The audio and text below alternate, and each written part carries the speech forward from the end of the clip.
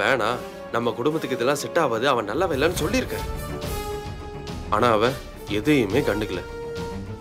Advice பண்ண என்னையே சண்டைக்கு தான் கூப்பிடுவா அவ அண்ணி கல்யாணம் நிச்சயமான பிறகு கூட அவங்க ரெண்டு பேரையும் ஒண்ணா பார்த்தேன். தனியா நின்னு பேசிட்டு இருந்தாங்க. டேய் அவளுக்கும் உனக்கும் ஆகாது. எப்ப பார்த்தாலும் முட்டிக்கிட்டே இருக்கும். அந்த கோவத்துல ஏதாவது சொல்றியாடா? மா கோவம்லாம் இருக்குமா?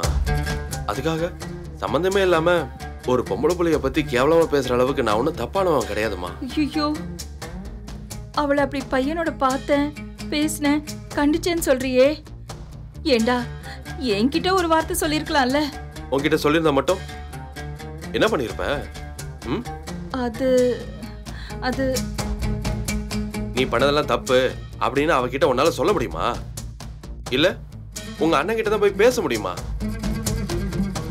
இருபத்தி நாலு மணி நேரமும் மாத்தி மாத்தி சண்டை தான் போட்டுட்டு இருக்கோம் பிறந்ததுல இருந்து சண்டையை மட்டும் தான் பார்த்துட்டு இருக்கேன் அவங்க என்னடான்னா நம்மள ஜென்ம விரோதியா பாக்குறாங்க இந்த லட்சணத்துல அவ ஒருத்தனை விரும்புற விஷயத்த நான் உன்கிட்ட சொல்லி நீ ஏதாவது பண்ணணும்னு நினைச்சா? அம்புட்டுதான் அதை வச்சு ஒரு சண்டை போடுவாங்களே தவிர இந்த பிரச்சனைக்கு தீர்வெல்லாம் தேட முடியாது.